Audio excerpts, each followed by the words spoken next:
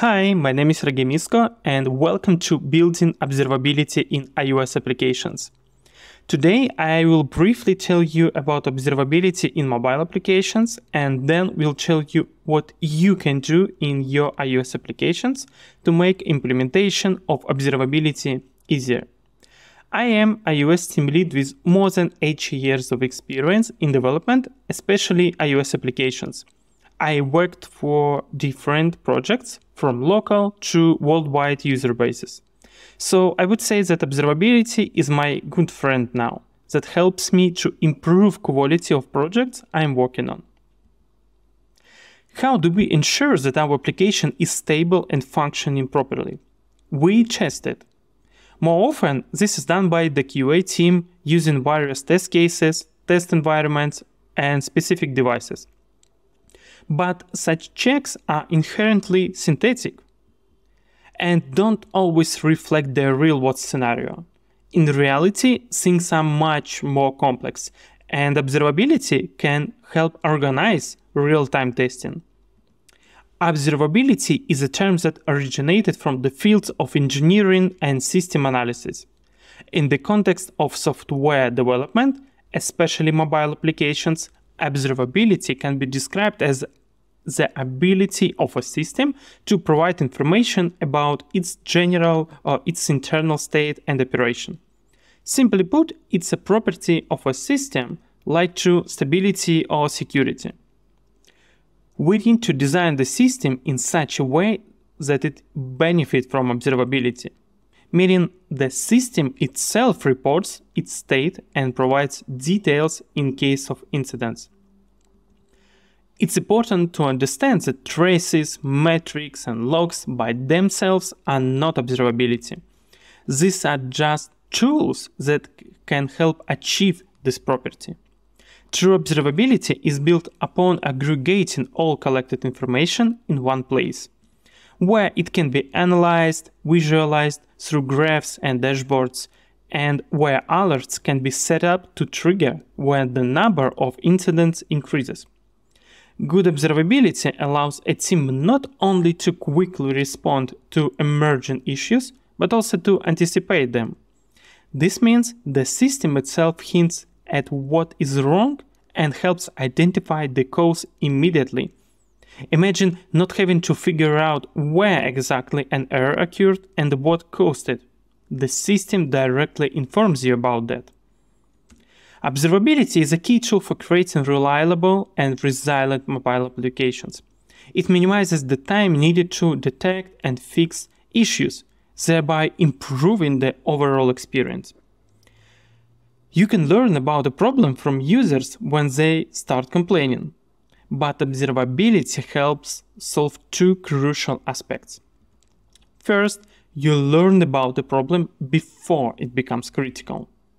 And the second, you have complete information and can immediately start resolving the issue without needing to gather data from various sources. To summarize, with good observability in your project, you don't just find out that, oh, a problem occurred, but you immediately get all necessary information to solve it. The system fully reports its state and causes of any issues, allowing you to take an action promptly. However, it's important to remember that observability doesn't not replace testing synthetic checks. I made a mistake.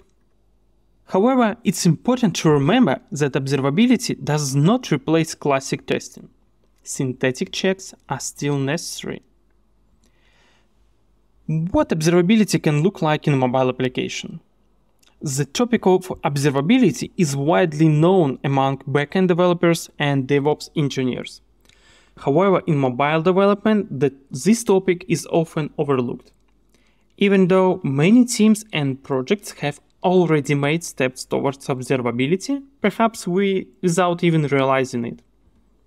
Let's imagine a, a hypothetical project, an iOS application.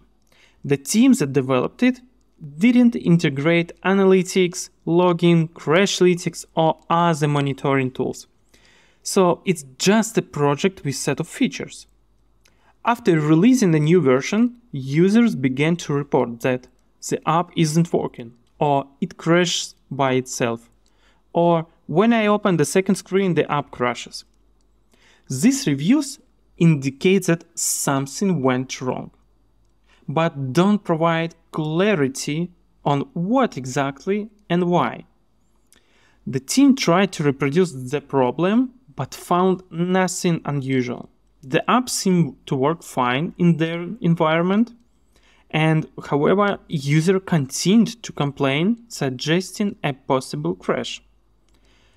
But since the team couldn't reproduce it, they were left to work blindly, release a new version, and hope this helps. As example, this situation could be could have been easily solved if the app had been set up with Crashlytics to catch crashes and send information about them. In the world of iOS development, Apple already provides such functionality out of the box, but with certain limitations. For greater flexibility, developers often turn to third-party services like Firebase Crashlytics. Today, collecting crash information has become a standard practice that allows team to learn about issues before users start complaining in large numbers, while also providing data on the causes of these issues, such as stack traces and technical information about the device. By working with Crashlytics, teams are already taking that step toward observability. However, crashes are far from the only problems that can lead to user complaints or worse, cause a drop in key metrics and revenue. The more complex a system becomes, the more dependent parameters it includes, the more diverse the devices and OS versions it supports, the less transparent it becomes in understanding how the app behaves in real world conditions. For example, if a project uses feature flags to manage the availability of features and the configuration system doesn't validate changes. A product manager or business analyst could accidentally make an error, such as miscast the data format or skip an important field. This could result in users not receiving certain functionalities, even though the server and Crashlytics don't register any issues. Moreover, given the complexity of modern systems, it's impossible to test and simulate every possible usage scenario. For example, you might release several new features simultaneously. Everything works fine in the test environment, so you release the update. However, on real devices, under certain conditions, such as a specific phone model, iOS version, or internal app settings, many users might experience issues for, is, for instance, app may take a long time to load, or critical flows like registration may start to fail, and you will see nothing on Crashlytics because there are no crashes. So just like the crashes, you need to build metrics for other aspects of the app's performance and stability. To determine where to start building metrics, I suggest focusing on three key aspects. So first is important user stories. Examples like registration, login, payment processing, sending messages, generating resources, search results, and etc. It's important to consider not only whether these flows are functioning, but also how well they are performing. For example, how quickly payments are processed or messages are sent. Then pass flows, or features that depend heavily on frequently changing system parameters. It's crucial to account for dynamic changes that can affect app behavior. And flows, features, stories dependent on external systems.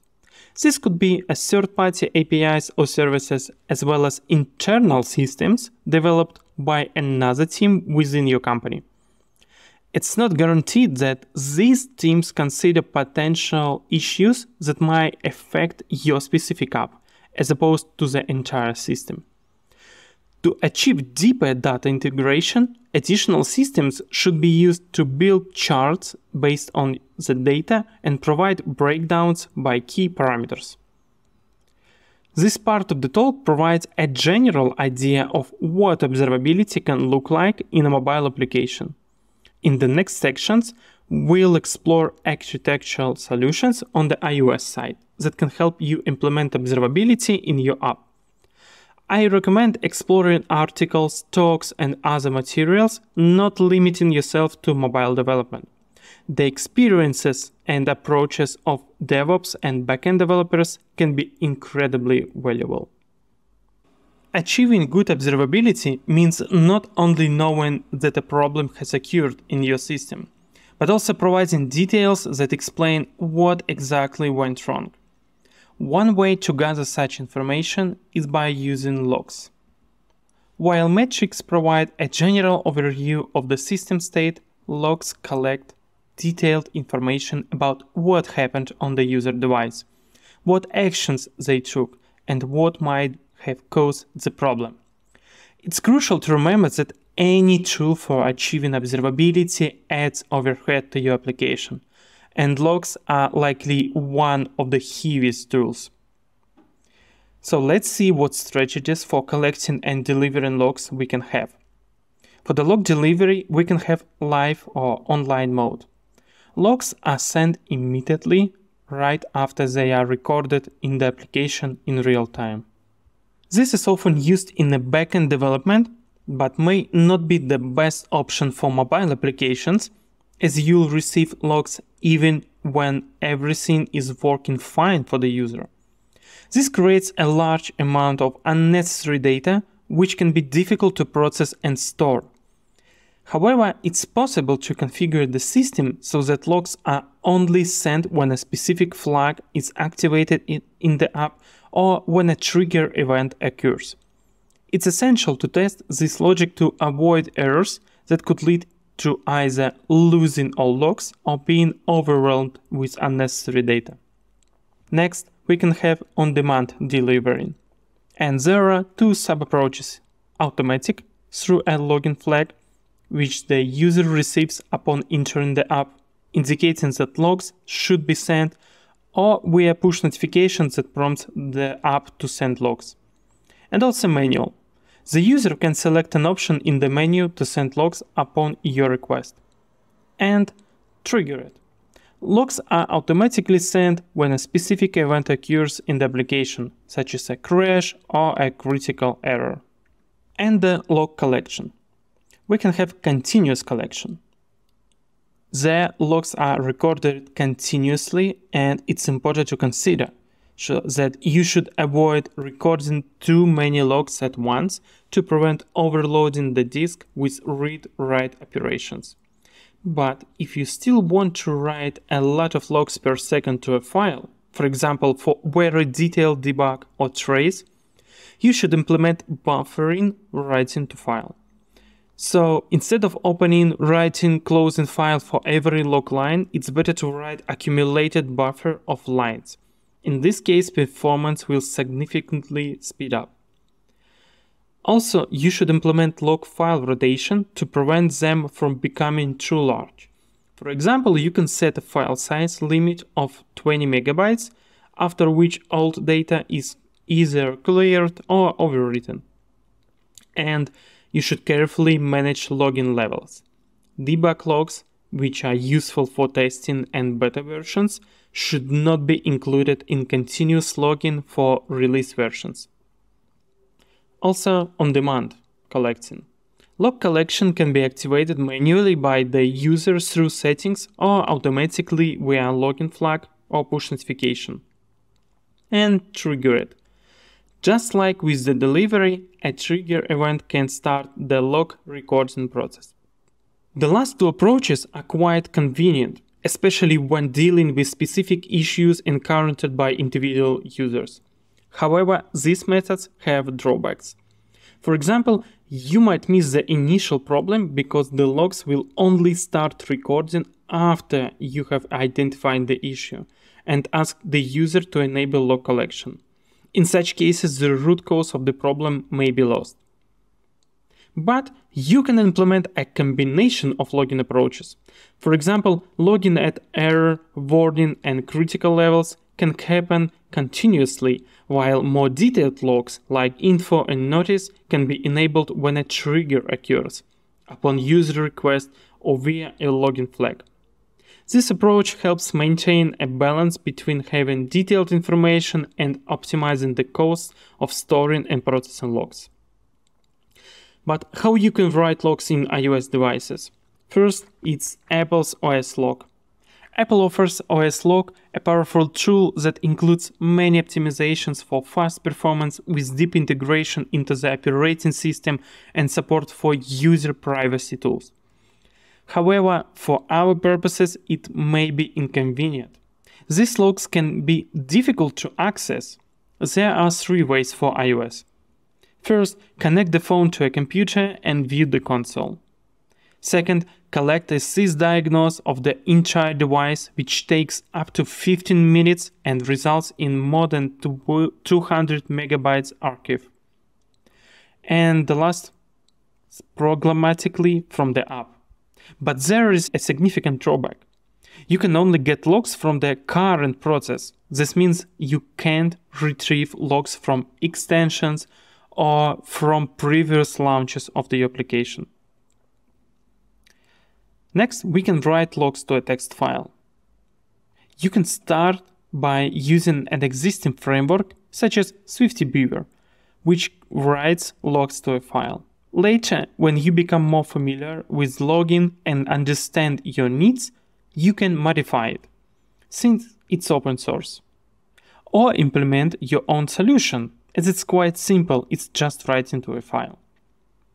And also you can write logs to Firebase Crashlytics. By default, Firebase Crashlytics is used to catch crashes and send stack traces and device information but you can also log additional data such as information about subscriptions or user roles. This allows you to more accurately identify the context in which the error occurred and potentially find solution more quickly. You can also write logs to Firebase Crashlytics, which will be sent along with the crash report. You can also send a non-fatal event that includes all this information. However, since Firebase is a free service, it has limitations, such as data sampling. Not all events are saved, and a limited number of logs lines before an error occurs. Additionally, you cannot run SQL queries to retrieve the specific data you need. Therefore, it's not advisable to rely on free services for too long. You should consider more specialized, specialized solutions or build your own. However, Firebase Crashlytics can be sufficient for a start. If you choose the second method, writing logs to a text file, you should consider the following tips. Define a logging policy and use logging levels appropriately. It's important to consider how these levels will be used and to monitor the amount of logging during code review. This helps prevent situations where too many logs are recorded at once, which can negatively impact the system and the disk. This task is as crucial as controlling the number of network requests or database queries as the application functionality grows. To prevent logs from being included in release builds and causing unnecessary overhead, you can use preprocessor directives like ifdef. Instead of adding ifdef to every login statement, you can optimize the login function itself. If the ifdef directive is enabled, the login code is executed. If not, the function remains empty. For example, this can be done for the debug level. This allows Swift compiler to exclude unnecessary calls in the release build, ensuring high performance. In your login functions, specify the argument that passes the log text as autoclosure. This allows you to delay the evaluation of the argument until it's actually needed. If debugging is not enabled, the evaluation of debug descriptions will not occur, reducing the system load. While logs indeed provide a lot of useful information, they can be cumbersome due to their big volume. Therefore, it's important to consider virus optimization. One such approach is to transmit a detailed state of the application instead of full logs. For example, you could send information about which screens the user navigated through, which API requests were made, what settings were configured, and which key business logic flags were set. Let's consider an example of notification service extension in iOS. This extension is triggered when a push notification with a specific flag is received. The system then allows us to modify the content of this notification or even generate multiple notifications instead of one. For our business logic, we make an HTTP request to our API, query a database, save changes, and much more. However, there is a catch. iOS strictly enforces a 24 megabyte RAM limit for your extension. If you exceeded this limit, the system will immediately terminate your process without any notification. This means the user won't even know that something went wrong, and no events will be logged in your metrics or crash reporting tools. Knowing that the notification service extension is not fully executing is not enough. It's crucial to know at which stage it fails. So we need to track every step of our process, send some kind of result, and ensure that we don't introduce so much overhead that we ourselves become the cause of exceeding the RAM limit.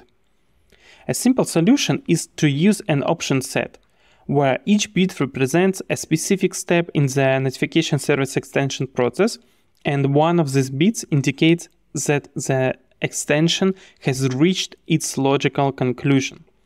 If we complete a step, we set a corresponding bit to 1. Each time a change occurs, we should save the option set value to disk. Then on next launch, we can check the value of the last option set to determine whether all necessary steps were completed and if the process reached its end. If we detect any deviation, we can send a metric. This way you can see if your extension frequently encounters error or is being terminated by the system due to exceeding the RAM limit.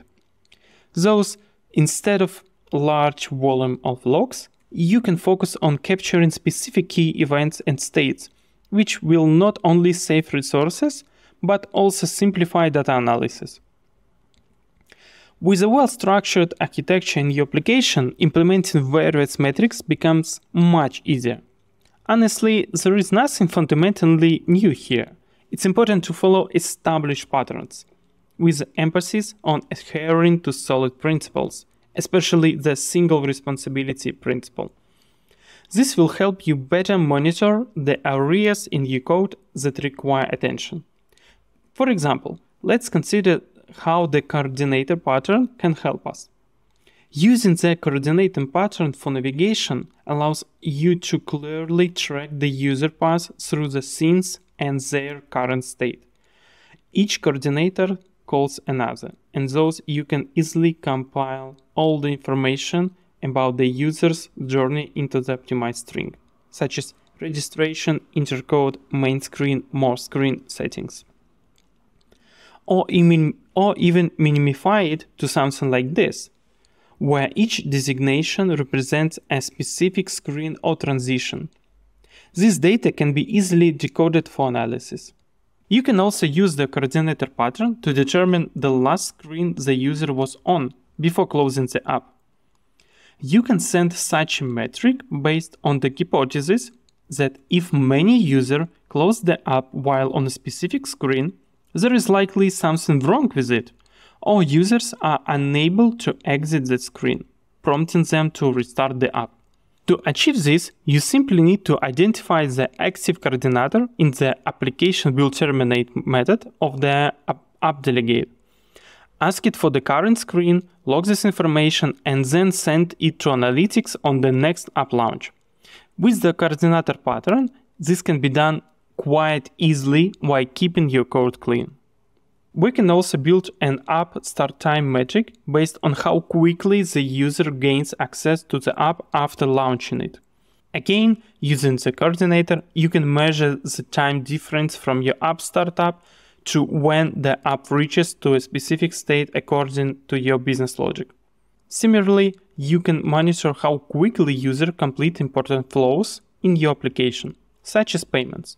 If users suddenly start taking significantly longer to complete a payment flow, you will notice it right away. Additionally, you can work with the API layer by recording which requests were made during app startup or during its operation. This data can be useful for understanding the sequence of user actions and identifying potential issues, as well as spotting bottlenecks during app startup. This will be easily to implement if you have clearly defined your API and network entities. Another interesting and useful metric I recommend is Annoyed tab. This metric tracks situations where the user repeatedly taps on the same UI element which may indicate frustration due to something not working properly. Such a metric will be easy to implement if you have a clearly defined entity that handles the business logic of the screen, such as interactor, controller, view model, and etc. That's it for today. Thank you for your time and interest in the topic. I hope you get a better understanding of how to implement observability in your iOS applications. Best of luck with your future developments and thank you once again for being here today. Bye bye.